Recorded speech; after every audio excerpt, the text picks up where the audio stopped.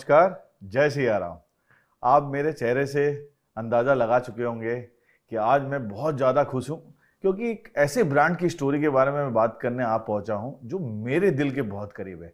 और जब भी मैं यहाँ आया हूँ, एक सुकून की प्राप्ति होती है। आज हम बात करने आप पहुँचे हैं आनंद गुजरात में। अब मैं उस ब्रांड के बारे में आपको जितना भी क्लू देने की कोशिश करूँ, कम होगा। मैं कहूँ, अमूल दूध पीता है इंडिया टेस्ट ऑफ़ इंडिया बहुत सारी लाइनें आती हैं दिमाग में, इस ब्रांड के बारे में बात करेंगे, क्योंकि ये ब्रांड एक ऐसा ब्रांड है जिसके ओनर कोई पर्टिकुलर इंसान या कोई कंपनी नहीं है, इसके ओनर्स 36 लाख किसान हैं। उन 36 लाख किसानों के हित में काम करने वाली एक संस्था है, जिसका नाम अमूल है।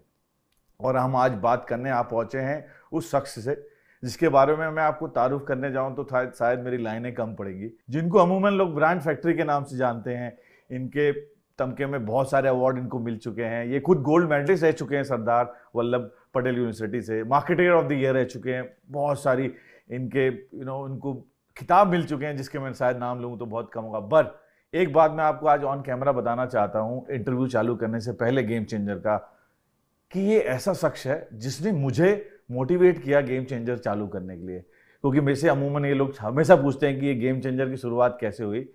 मेरे घर के अलावा, जगदीश चंद्रा जी के अलावा, ये ऐसे शख्स है जिन्होंने मुझे गेम चेंजर करने के लिए बहुत मोटिवेट किया। अगर मैं इनके लिए सिर्फ़ दो लाइनें कहूँ तो कम नहीं होगा।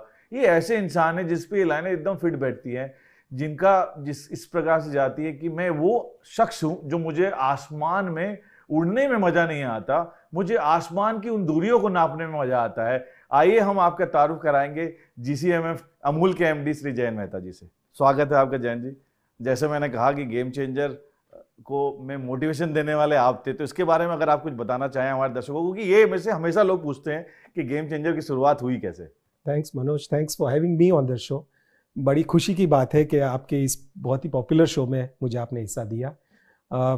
The way you been conducting this show और जिस हिसाब से आपने इसकी एक एक मुकाम पे पहुँचे हो आप ये मेरे लिए भी बड़ी खुशी की बात है कि जब हम आज से एक डेढ़ साल पहले बात कर रहे थे कि how do you come in front of the TV in front of the camera in front of people whom you know and जिससे आप मिलना जानते हो उनसे इंटरेक्ट करके उनके बारे में बात करोगे। उसके लिए बड़ी बड़ी प्रसन्नता है और आपकी इस शो की एक साल की भी मैं आपको बधाई देना चाहता हूँ। थैंक यू वेरी मच कहते हैं कि हर किसी को किसी न किसी तरीके का मोटिवेशन लाइफ में चाहिए तो मेरा मोटिवेशन श्री जैन मेहता थे। बट मैंने जैसे कहा कि पृथ्वीराज चौहान के वंशज, ये मैं भी आपको बहुत सालों से जानता हूँ, लगभग अठारह बीस साल। ये बात मुझे भी नहीं पता थी, जब तक वो मैंने बुक पढ़ी नहीं, जो आपने खुद से लिखी है, जो 51 generation of old age family के बारे में। इसके बारे में बताइए, जब आपको खुद को पता चला, जब आपने डिग डाउन किया अपने फैमिली ट्री को कि आप पृथ्वीराज चौहान के वंशज हैं, ये आपके लिए कितना बड़ा सरप्राइज़ या खुशी की बात थी? नहीं, ये मेरे और मेरे परिवार के लिए बड़ी खुशी की बात है। हमारा जो परिवार है, उसका नाम है पाल गोत्रीय चौहान वंश परिवार। चार सौ तिहत्तर four thirty three A D चार सौ तैंतीस A D four thirty three A D से हमारे परिवार का इतिहास है। और इस जो वंश वेला है और हमारी जो फैमिली ट्री है उसमें मेरा सीरियल नंबर फोर्टी सेवन है और चार सौ बत्तीस परिवारों का इतिहास है। और इतिहास में ये दर्ज है क्योंकि जो नाडोल का जो मंदिर है जो दसवीं सदी में हमारी कुलदेवी आशापुरी माँ का मंदिर है वो हमारे तेरहवीं चौदहवीं पीढ़ी के वंशज ने बनाया था। काफ़ी सारे हिस्टोरिकल रेफरेंसेस हैं। हमारे जो गुरु महाराज हैं उन्होंने भी फैमिली ट्री का जो रिकॉर्ड्स रखे थे हमारी फैमिली के रिकॉर्ड्स हैं। उस पर ये काम करीबन सौ साल से चल रहा था। 1922 में मेरे ग्रेट ग्रैंडफादर ने ये काम शुरू करवाया था और तब से लेके कई लोग इसमें लगे हुए हैं। और आपने माननीय प्रधानमंत्री जी की बात सुनी होगी जब उन्होंने पिछले साल इंडिपेंडेंस डे के मौके पे कहा था कि हमारे जो पाँच प्रण है उसमें से एक ये होना चाहिए कि हमको अपने इतिहास पे गर्व होना चाहिए। yes. तो उसी कंटेक्स में मैंने और मेरी बेटी ने मिलके ये सब काफ़ी सारे रिकॉर्ड्स थे उसको गुजराती से इंग्लिश में ट्रांसलेट किया और जो किताब का आप ज़िक्र कर रहे हैं fifty one generation of India's oldest family उसका एक अटेम्प्ट किया इतिहास को लिखने का और हमारे परिवार को खास करके बताने का कि ये हमारा इतिहास है। And uh, we should all be uh, proud of what we are as a country as a civilization and more importantly as a family. जब मैं रिसर्च कर रहा था क्योंकि हमारे शो का उद्देश्य ये है कि हम जो इंस्पायरिंग स्टोरी लाते हैं कि वो गेम चेंजर इस लेवल पे पहुँचा कैसे क्या उनकी जर्नी रही। तो उस जर्नी के तहत जब मैं देख रहा था आपके दादाजी का एक बहुत बड़ा इतिहास रहा है और बड़ा स्वर्णिम इतिहास रहा है क्योंकि गुजरात असेंबली के वो डिप्टी स्पीकर भी रहे हैं और सेशन जज भी रहे हैं। ये आप कैसे देखते हैं कि जो आपके फैमिली है इनफैक्ट आपके परदादा मोरबी के चीफ मेडिकल ऑफिसर भी रहे तो your you have a very rich family background also how do you look at it right now दो चीज़ें इसमें से उभर के बाहर आती है कि एक तो सबने समाज के लिए सोसाइटी के लिए काम किया और खास करके एजुकेशन और पढ़ाई पे हमारे परिवार ने बहुत ध्यान दिया। तो उसका फ़ायदा मेरे फादर को भी हुआ। He was MSc in chemistry he is MSc in chemistry my mother is did her B BCom BA honours way back in nineteen sixties तो एंड ओबियसली हमारे परिवार में हम सबके पीछे पेरेंट्स का और फैमिली का यही था कि अच्छी पढ़ाई करोगे तो उसके रिजल्ट्स आपको अच्छे मिलेंगे और आप जो समाज की और सोसाइटी की सेवा कर रहे हो, वो अच्छी तरह से कर पाओगे। जानना चाहूँगा कि आपकी पैदाइश हुई मुंबई में? फिर आपने टेंथ तक की पढ़ाई करी वेरावल में। फिर आप आप ट्वेल्थ की पढ़ाई करने के लिए आ गए अहमदाबाद। फिर आगे की पढ़ाई करने के लिए आप पहुँचे आनंद। इस जर्नी आप जब खुद पलट के देखते हैं तो आपको कैसा महसूस होता है? क्योंकि आपने हर जगह कुछ ना कुछ समय ज़रूर बिताया हुआ है इंडियन ज्योग्राफी में। तो you understand that very well small town Veraval में पढ़ने का फ़ायदा ये हुआ कि we got an opportunity to study from the early days in English medium school तो हमारे इंडियन रेन की इंग्लिश मीडियम स्कूल थी मेरी मदर वहाँ पे टीचर और प्राइमरी सेक्शन की प्रिंसिपल भी रहा करती थी। तो you can imagine as a child सभी टीचर्स आपको पर्सनल बेसिस पे जानते थे। तो वो एक अच्छा माहौल रहा एकेडमिक्स का। फिर आगे की पढ़ाई के लिए साइंस में वेरावल में सुविधा नहीं थी सोमनाथ वेरावल छोटा शहर है तो अहमदाबाद में जी एल स्कूल में पढ़ाई की। और उसके बाद दो अपॉर्चुनिटीज़ थी मेरे पास आर्किटेक्ट बनने की इंजीनियर बनने की या मैनेजमेंट में जाने की। तो तब बीबीए का जो कॉलेज है सरदार पटेल यूनिवर्सिटी का वो पाइनियरिंग कॉलेज था इस क्षेत्र में अच्छी फैकल्टी थी। और वहाँ में मुझे खुशी इसीलिए है कि वहाँ आने की वजह से मैंने मार्केटिंग फिलिप कोटलर जो गुरु कहा जाते हैं मार्केटिंग के उनका अभ्यास किया। अब मैं आपसे समझना चाहूँगा कि इरमा आपका फाउंडिंग स्टोन हुआ, जो आप जहाँ भी पहुँचे आज, जो भी आपने लाइफ में मेहनत करी है। मुझे जब बताया गया, मैं आपके जो फॉर्मर स्टूडेंट से बात कर रहा था, जो आपके साथ पढ़ाई की है इरमा में, आपके बैच में तो मुझे एक चीज़ समझ में आई कि सबका कहना यही था कि जैन भाई पढ़ने में तो बड़े होशियार थे। बिनो टॉपर्स में आते थे टॉप थ्री में उनका नाम आता था बट साथ में जो एक्स्ट्रा कोकुलर एक्टिविटी थी, उसमें भी बिल्कुल उनका ध्यान होता था। जैसे आपका यात्रा जो एनुअल फेस्ट होता था वहाँ का इरमा अगर मैं गलत नहीं हो तो। उसके प्ले के आप डायरेक्टर भी थे। इनफैक्ट जो प्ले की बात कर रहे हैं वो थ्री एक्ट प्ले था जिसे मुझे डायरेक्ट करने का मौका मिला। क्या नाम था प्ले का जैन भाई? किसी एक फूल का नाम लो। किसी एक फूल, फूल का, नाम लो। It is a very strong three act play lasted for more than two hours we we did a very very great show that time doing this ऐसे भी uh, सिंहासन खाली है करके एक और नाटक था जिसमें मैंने परफॉर्म भी किया था। तो IRMA was obviously the best launch pad for me in terms of क्योंकि मैनेजमेंट का नॉलेज था रूरल मैनेजमेंट एक एडिशनल आयाम वहाँ पे ऐड हुआ। जब आपने ज्वाइन किया 1991 में लिबरलाइजेशन जब चालू हो रहा था तब सबके सामने एक चैलेंज था कि ये सहकारी जो मॉडल है चलेगा कि नहीं चलेगा? प्राइवेट कंपनी टेक ओवर करेगी मन में दुविधाएँ थी। तब आपने बी एम व्यास के साथ मिलकर एक स्ट्रैटेजी पेपर तैयार किया था कि डेयरी इंडस्ट्री आने वाले दिनों में कैसे दिखेगी एंड हाउ दिस सहकारी model will be growing it आप उसके बारे में कुछ बताइए 1991 में जब आपने स्ट्रेटजी पेपर तैयार किया था। ये एक्चुअली बहुत चैलेंजिंग टाइम था क्योंकि जब 89 से 91 इरमा में पास किया जो पढ़ाई की उसके बाद जॉब मिली तो हमारा कॉन्वोकेशन हुआ तब जो मनमोहन सिंह साहब ने हमको as he came in as chairman of the planning commission deputy chair of the planning commission he gave us our degrees and within two months जब नई सरकार आई जिनके वो वित्त मंत्री बने और उस सरकार ने पहला काम किया देश को लिबरलाइज करने का। इकोनॉमी को लिबरलाइज करने का देश की आर्थिक परिस्थिति बहुत खराब थी। आपने सुना होगा दो विमान भर के सोना हमने लंदन भेजा था। And they were forced to liberalise economy तो कोऑपरेटिव्स को एक प्रोटेक्टेड सेक्टर माना जाता था क्योंकि वो जो काम करते थे और आ, वो एक एक ज़िले में डेवलपमेंट वर्क करते थे। दूध की मंडलियाँ बनाने जो अमूल मॉडल देश भर में रेप्लीकेट हुआ। Operation flood one two and three nineteen से नाइन्टी के बीच में। तो हम नाइन्टी के दौरे की बात कर रहे हैं। तो सडनली ऐसी लिबरलाइजेशन की वजह से आपको एक ऐसी सिचुएशन आई कि बाहर का विदेश का पैसा भी आ सकता है विदेश की टेक्नोलॉजी भी आ सकती है। और टेक्निकली आनंद में जो अमूल डेयरी है उसके बगल में नेस्ले या कोई भी मल्टीनेशनल अपना प्लांट लगा सकती है। हम्म। तो ये मेजर चुनौती थी। तो हमने रियलाइज़ किया कि ये ब्रांड को ये संस्था को ये मॉडल को अगर हमको जीवित रखना है तो हमको इस जो आने वाला बदलाव है उसको कोप अप करने के लिए सक्षम होना पड़ेगा। जो नंबर पता चल रहा है जो आपने अनुमान दिया है तो एक लाख करोड़ लक्ष्य दिख रहा है कि हम पहुँच रहे जा ही रहे हैं। तो उसमें कितना परसेंटेज होगा आने वाले दिनों में 2026 तक? जब आज जो पाँच परसेंट में खड़ा है कॉम का। इस परसेंट अकेला इंपॉर्टेंट नहीं है क्योंकि तो जीटी मार्केट है उसमें भी ग्रोथ आ रहा है। बिल्कुल। उसमें भी डिस्ट्रीब्यूशन पेनिट्रेशन बढ़ाने की वो चल रही है मुहिम। एक्स्ट्रा हम नए ब्रांचेस हम खोल रहे हैं। नए डिस्ट्रीब्यूटर्स और सप्लाई चेन नेटवर्क को एक्सपांड कर रहे हैं। कोविड में भी एक दिन भी अमूल का काम रुका नहीं। और 36 लाख किसान से लाखों लीटर दूध गाँव में शहरों तक कंज्यूमर मार्केट तक पहुँचा। So this is the the supply chain chain we have. All this it comes on top of Yeah. मैं कहना ये चाहता हूँ कि अगर हमने 85 जितने डिस्ट्रीब्यूशन सेंटर्स खोल दिए हैं अक्रॉस इंडिया हम हर कस्टमर से चार से छः घंटे ही दूर हैं। और साथ में अमूल पार्लर्स हैं जो दस हज़ार उसके साथ क्यू कॉमर्स इनेबल करना है तो ये है। So it is an omni channel strategy but मैं आपसे समझना चाहूँगा कि जो आप लोगों की सबसे बड़ी स्ट्रेंथ है जो मैं मानता हूँ as a consumer as an outside view कि जो आपके अमूल पार्लर है जो स्ट्रेंथ आपका गुजरात में है वो उस तरीके की स्ट्रेंथ मुझे दिल्ली में नहीं दिखता। उसके पीछे क्या रीजन है? दिल्ली में आई थिंक मदर डेयरी बैठा हुआ इसके कारण है? व्हाट डू थिंक हालाँकि आपका इम्प्रूवमेंट हुआ है दिल्ली में but how you look at Delhi as a overall NCR market for no no Delhi is a very very important market और uh, अभी जो हमने पिछले एक साल में आपने हमने काम किया है तो म्यूनिसिपल कॉरपोरेशन दिल्ली ने हमको काफ़ी सारे जगह पे इस तरह के आउटलेट्स बनाने की परमिशन दी है। Similar like like gardens but उनका एक तलाव का दूसरा अलग मॉडल है।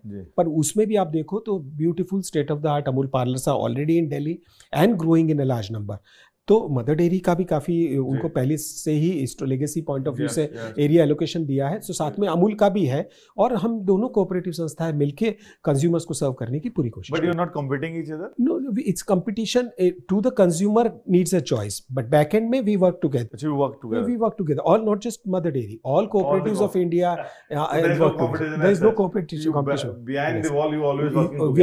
तो मुझे एक चीज़ समझना था आपसे एकदम शुद्ध लैंग्वेज में मैं थोड़ा सिंप्लीफाई करना चाहता हूँ अमूल पाला को लेकर क्योंकि ये सवाल बहुत आते हैं।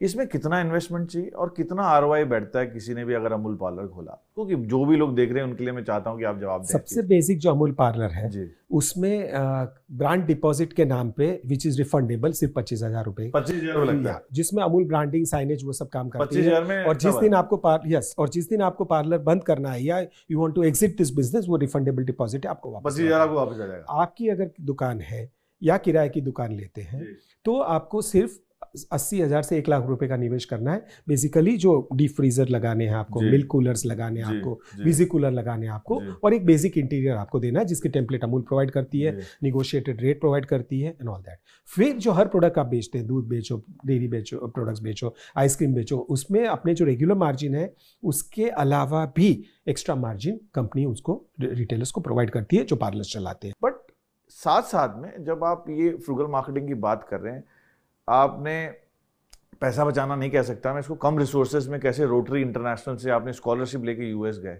बिना संस्था का खर्चा किए, उसके बाद तुरंत यूएस में लॉन्च हो गया प्रोडक्ट तो वो वो कैसे किया आपने? इट वॉज़ क्लियर कि मुझे इस तरीके से यूएस पहुँच के स्टडी करके आके देन अपना प्रोडक्ट लॉन्च कराना यूएस में कोई संस्था का एक रुपया खर्चा नहीं हुआ उसमें।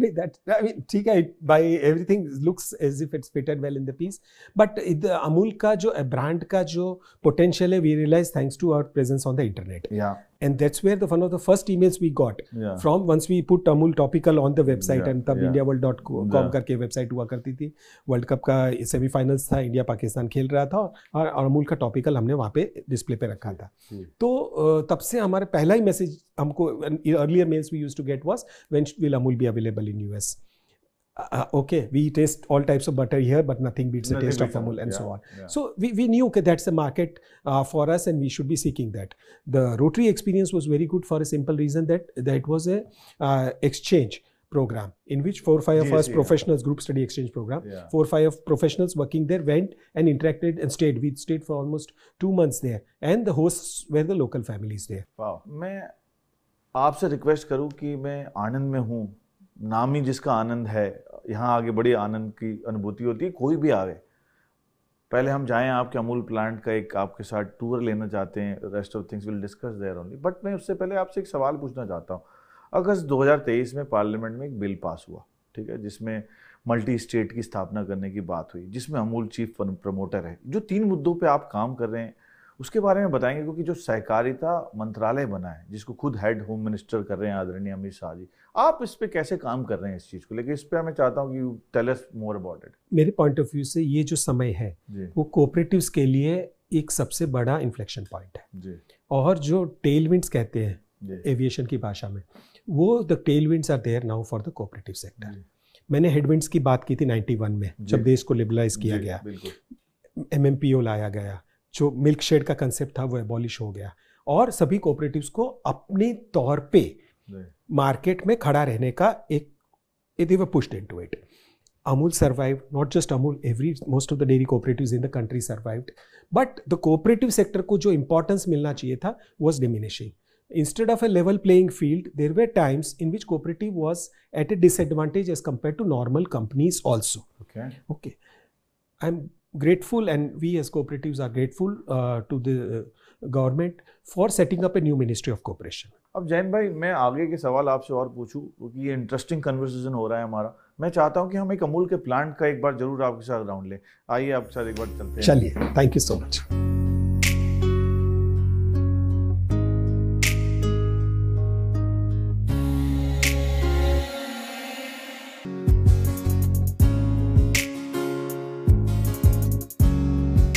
Jain भाई, जैसे कि हम आज अमूल की चॉकलेट फैक्ट्री में हैं। मैं अगर आपसे चॉकलेट का सवाल नहीं पूछूँ तो मज़ा नहीं आएगा। तो अमूल डार्क चॉकलेट में नंबर वन है लीडर है। तो मिल्क चॉकलेट में अमूल क्या कर रहा है? क्योंकि आपने अभी एक वेलवेट रेंज लॉन्च करी है। How do you looking at this overall chocolate market आप अमूल चॉकलेट के बिज़नेस में तो पिछले पचास साल से हैं। और कंपटीशन इंटेंसिफाई हो रही थी और हमारे मार्केटिंग स्पेंड्स ऑब्वियसली प्रायोरिटी थी दूध और दूध प्रोडक्ट तो ऑब्वियसली वी आइडेंटिफाई हमको रहना तो था इस कैटेगरी में क्योंकि chocolate gives a very big strength not just selling as chocolates but also as ice creams also as beverages so and this gave us a very strong competitive advantage in the entire space of chocolate based products having said that consumer taste and preference evolve हो रहे थे dark की तरफ़. And was no care in India और उनके portfolio में भी globally कहीं डार्क चॉकलेट है नहीं. तो हमने सोचा कि ये निश पे आइडेंटी काम करते हैं। Single rupee we have now it's all because of consumer word and mouth believe me I would seen every single tweet and insta post on Amul and Amul chocolate since 2014 wow And we listened You to the have the consumers. insight, So we started with a 55% dark chocolate. Yeah. Somebody would have said, why not 75? So we launched a 75. Why somebody said, why not make it Yeah. even darker chocolate? So we launched 90. Then said, why not the ultimate one? So we launched 99%. Then the variety of flavors and combination of yes yes single country origin chocolate was a game changer. yeah where people realize कि जो Switzerland और Belgium वाले हैं. वो cocoa तो एक produce नहीं करते हैं yes पर उनका प्रोसेसिंग और मार्केटिंग इतना स्ट्रांग है कि लोग सोचते हैं कि यही लोग चॉकलेट करते हैं। प्रोड्यूस करते हैं। Yes तो हमने सिंगल कंट्री रेंज चॉकलेट किसी लॉन्च की ताकि जो इक्वेटोरियल रीजन है जहाँ कोको बीन प्रोड्यूस होता है Peru Venezuela Tanzania Ghana India Indonesia ये। तो वहाँ सबके कोको बीन्स को हमने प्रोसेस करके डार्क चॉकलेट की रेंज लॉन्च की। सबका रेसिपी सेम है।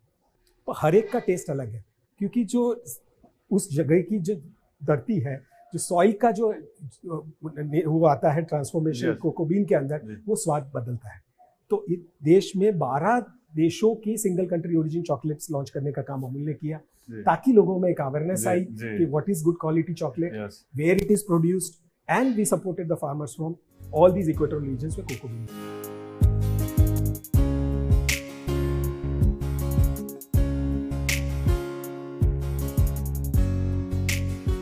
अभी हम जब अमूल के चॉकलेट फैक्ट्री में आए हैं मैं समझना चाहूँगा आपसे जो प्रोसेस यहाँ पे चलता है डेली हम कितनी चॉकलेट प्रोड्यूस कर लेते हैं यहाँ पे?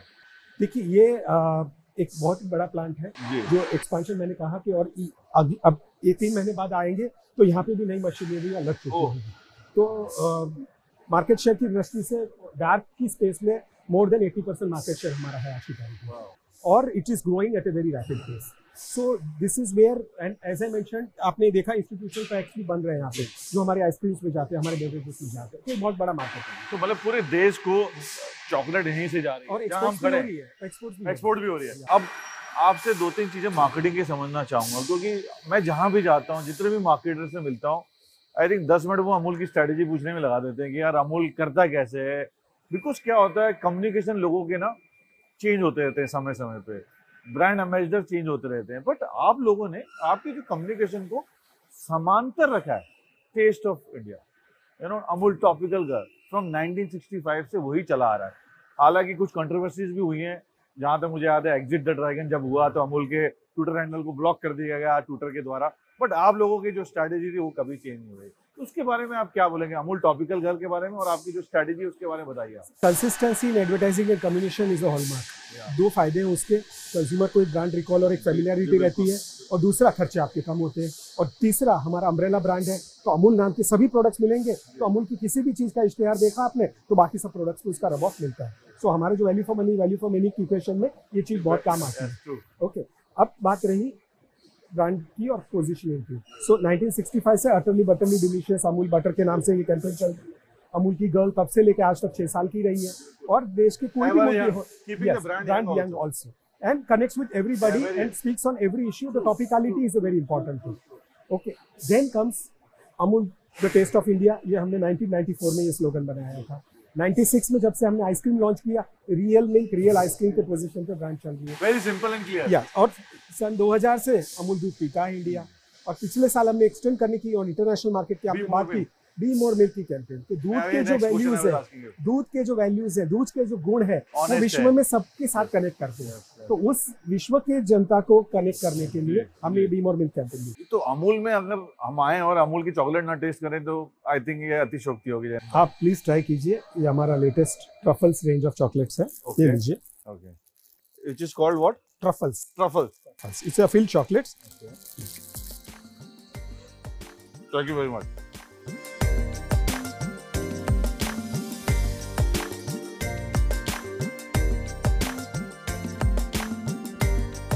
Amul की जब भी बात आती है तो Amul is all about milk and milk product but अभी आप जो ऑर्गेनिक फूड्स को लेकर एम्फोसिस कर रहे हैं ये कब हुआ?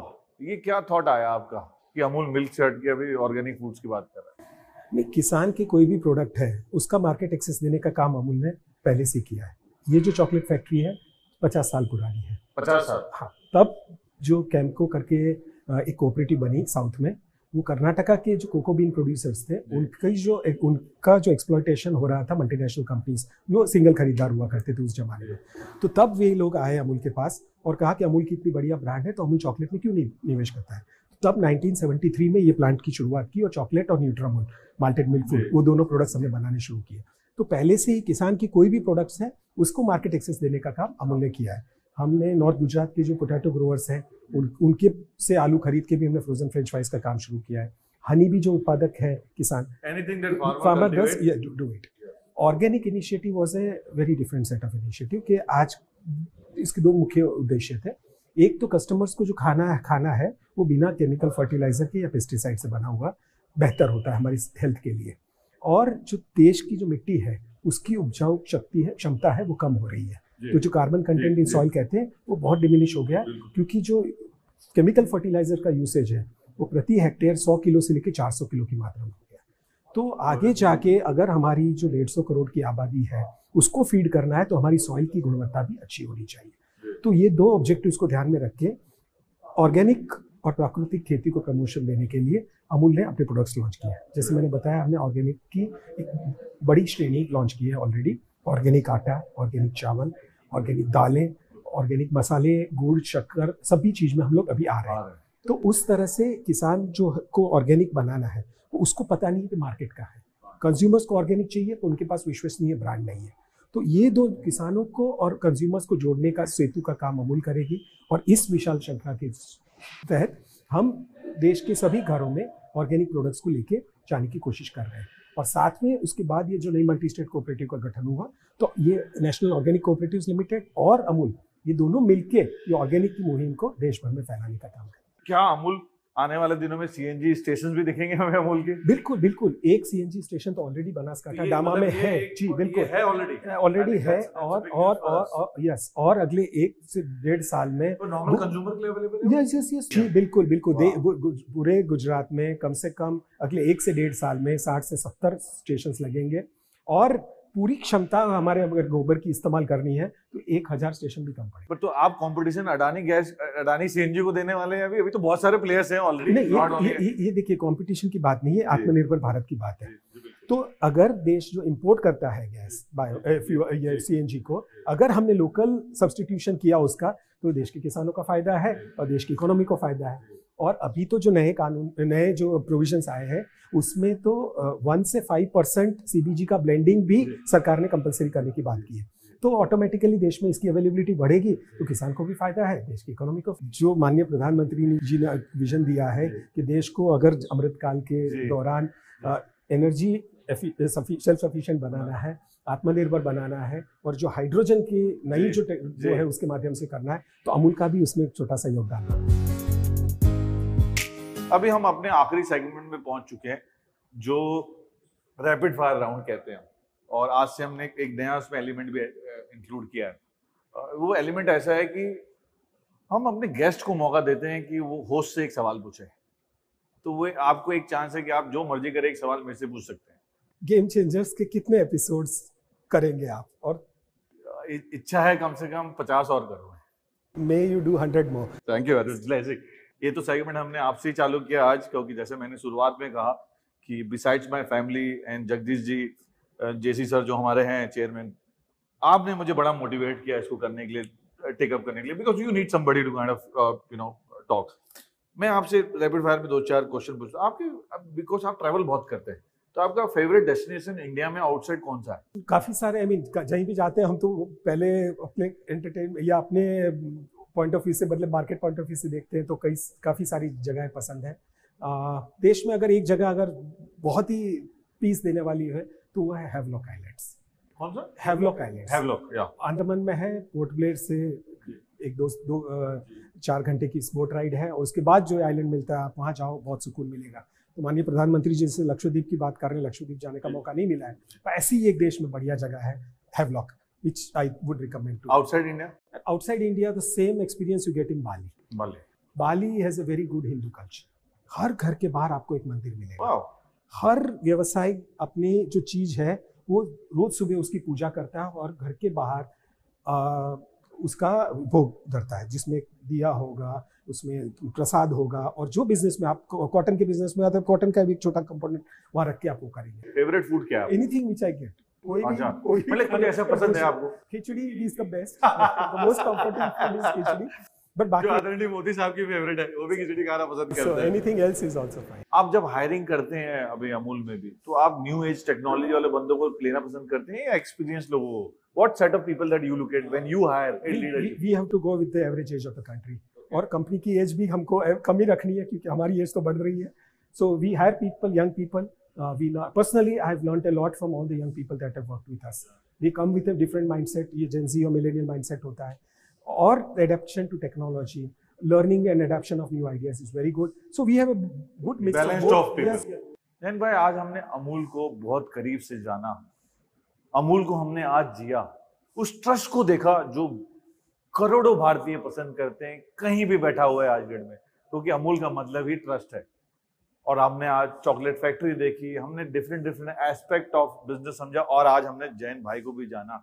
बट जाते जाते मैं आपसे एक छोटा सा रिक्वेस्ट करना चाहूँगा कि हमारे जो दर्शक है गेम चेंजर्स का हमारा उद्देश्य यही है कि जब हम इंस्पायरिंग स्टोरी लाते हैं, साथ में आपके एक अलग पहलू भी लाते हैं जो नॉर्मल इंसान का है।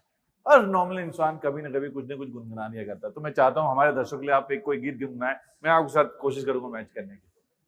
बड़ा मुश्किल सा प्रश्न है आखिर वाला बट ज़रूर कोशिश करेंगे। आप अमूल में हैं और अमूल जिस मंत्र को जिया है जी मंथन यस यस वो है मंथन का गाना। जी। मेरो गाम काठा दूध की नदियाँ जहाँ कोयल कंकर गाए मारे घर बोलो मारे घर अंगना में वाह। देखो तारीफ़। बहुत बढ़िया जयंत भाई thank you very much and thank you very much for your time आज आज जो आपने हमें समय दिया आज आपने जो हमें स्टोरी बताई मुल्क की thank you very much thank you thank you मेरो गाम काठा पाड़े जा दूध की नदियाँ बाहे जा कोयल ढोक